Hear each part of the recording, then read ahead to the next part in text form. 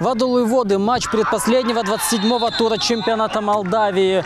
И вот сейчас мы видим, Мелсами зарабатывает пенальти. Но с точки зрения турнирной таблицы этот поединок ничего не решает. Мелсами бронзовый призер, ну а Шериф 20-кратный победитель чемпионата Молдавии.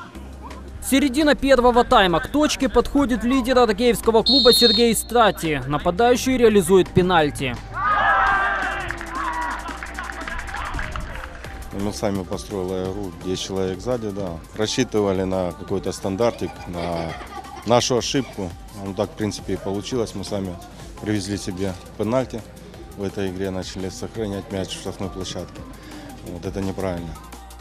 Первая игра шерифа в статусе чемпиона и большая ротация состава. Вместо травмированных на поле футболисты с меньшим игровым временем. У нас еще травму получили ребята в игре. Это будет уже будет известно завтра. Вот. Но думаем, что Густаво, Жульен должны подойти. Там посмотрим, как, как они будут восстанавливаться.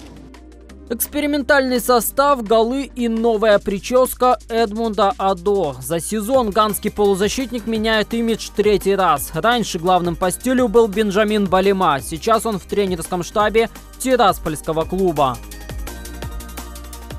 А это стиль в игре забивает Шериф. Гол в раздевалку оформляет Мамо Янсане. Ничья 1-1. Результат первого тайма так и не поменяется до финального свистка.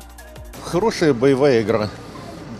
Две команды вроде, да, преимущество было шерифа территориальное где-то.